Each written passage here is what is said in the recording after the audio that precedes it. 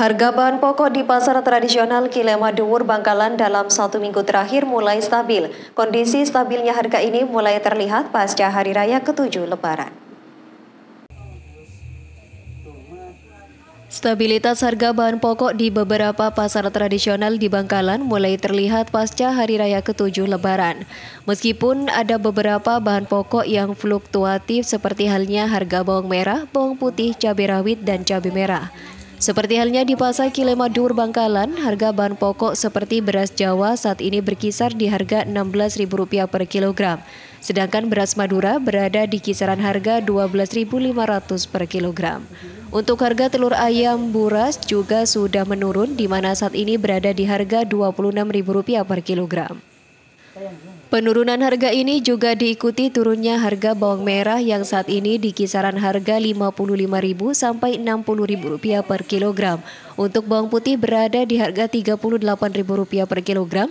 Hal ini juga berlaku untuk cabai rawit yang saat ini sudah berada di kisaran harga Rp25.000 per kilogram. Sedangkan cabai merah besar di harga Rp45.000 sampai Rp50.000 per kilogram terkait dengan harga sembako yang pasar Kelmadur pasca perasaan topak di Bangkalan seperti apa? Ada sebagian emang turun, ada emang normal hmm. kayak telur hmm.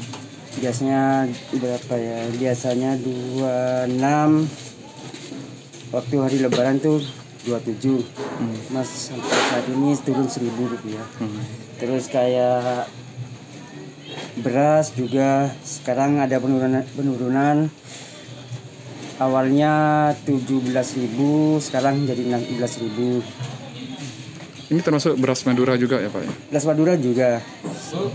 Jadi kurang udah... lebih selisihnya itu emang dari Lebaran hmm. sampai sekarang selisih seribu. Seribu, seribu rupiah Pak ya? Iya seribu rupiah. Jadi udah mulai stabil Pak harga di pasar? Iya stabil. Khusus harga cabai dan bawang kondisinya fluktuatif tergantung dari kondisi pasar dan cuaca. Untuk ketersediaan stok bahan pokok di pasar Kilemadur Bangkalan saat ini masih aman, utamanya stok beras, gula, dan minyak goreng. Muhammad Sahid, JTV.